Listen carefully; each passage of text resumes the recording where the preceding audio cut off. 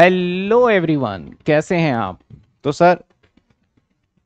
अभी twelfth pass हुए हैं। ट्वेल्थ पास होने के बाद अभी तो कॉलेज के हम नीट नीट कह रहा हूँ नीट नीट का इतना ज़्यादा हाइप हुआ पड़ा है कि हर न्यूज़ चैनल पे ही आ रहा है। जो C U T C U T अभी आपने दिया है उसके बाद एडमिशन भी ऑन गोइंग आ जाएँगे रिज़ल्ट के बाद सारी चीज़ें। एसओएल में बच्चों ने एडमिशन लेने चालू कर दिए हैं। तो आपका सिलेबस क्या होगा सेमेस्टर वन में? सबसे पहले आपका सिलेबस मैं एक बार बता देता हूँ क्या होगा। इसके बाद मैं सेमेस्टर वन में आप चैनल को सब्सक्राइब कर लीजिएगा। छोटी सी छोटी जानकारी बताएँगे कि एग्ज़ाम में कैसे जाना होता है, क्योंकि ट्वेल्थ और B Com totally different in the terms of examination. हमारे जो वहाँ पे एग्जामिनेशन मोड होता था, यहाँ पे होता था, बिल्कुल डिफरेंट होने वाला है। तो सबसे पहले तो आपका सेमेस्टर वन का एग्ज़ाम जो है वो नवंबर या फिर दिसंबर में हो जाएँगे। उसके बाद सर नवंबर दिसंबर में अगर हो गए तो कितने पेपर होंगे? सर, सात पेपर होंगे, जिसमें कुछ आपके कोर सब्जेक्ट्स होते हैं। कोर सब्जेक्ट्स का मतलब होता है, ये आपको पढ़ना ही पढ़ना पड़ेगा। इसमें कोई ऑप्शन नहीं है। और बाकी के चार सब्जेक्ट में आपको खूब सारे ऑप्शन मिल जाते हैं।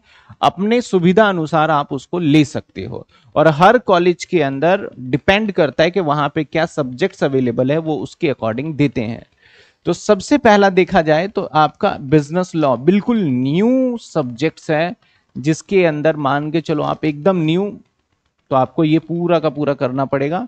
और थोड़ा सा टफ है लॉ सीख रहे हो, एकदम सब्जेक्ट है थ्योरी का सब्जेक्ट है, लेकिन मैं इतना बता दूँ आपको। फाइनेंशियल अकाउंट आपने पहले जाना पहचाना है, आपका वही यहाँ पे फाइनल अकाउंट होगा, लेकिन एडवांस है यहाँ पे फाइनेंशियल अकाउंट तो ये आपका पूरा प्रैक्टिकल सब्जेक्ट होने वाला है। ये आपका बिज़नेस स्टडी है। ये कौन सा है सर बिज़नेस स्टडी मैं ये बताने जा रहा हूँ बीकॉम ऑनर्स के लिए, जिन बच्चों ने बीकॉम ऑनर्स का सिलेबस करा ये क्या है हमारा? बिज़नेस स्टडी इसके बाद आपको ना यहाँ पे बहुत सारे पूल दे देते हैं। मतलब इनमें से कोई एक सब्जेक्ट चूज़ कर सकते हो। तो अब बच्चों के ऊपर है, ज़्यादातर बच्चे बिज़नेस कम्युनिकेशन ले लेते हैं तो ये चूज़ कर लेंगे। तीसरे सब्जेक्ट्स में आपका, इनमें से भी बहुत सारे सब्जेक्ट चूज़ करते हो तो फाइनेंस फॉर एवरीवन चूज़ कर सकते हो, और एक हिंदी और इंग्लिश, ऐसे सब्जेक्ट चलने वाले हैं आपके। तो ये टोटल आपके सात सब्जेक्ट्स हैं सेमेस्टर वन वालों। अभी अगर इस चैनल पे आप नहीं होगे, क्योंकि पहले तो नहीं पढ़े, मैं अगर ऐसा बताऊँ तो काफ़ी टाइम से सिर्फ़ बीकॉम के बच्चों को स्पेशली दिल्ली यूनिवर्सिटी के बच्चों को इस चैनल पे पढ़ाया भी जाता है, और साथ के साथ सारी चीज़ें गाइड भी की जाती है। तो होपफुली आप इस चैनल पे बने रहेंगे, सब्सक्राइब भी कर लेंगे। अभी तो नहीं करेंगे, जब ट्रस्ट हो जाए तब कर लीजिएगा। मिलते हैं नेक्स्ट वीडियो में।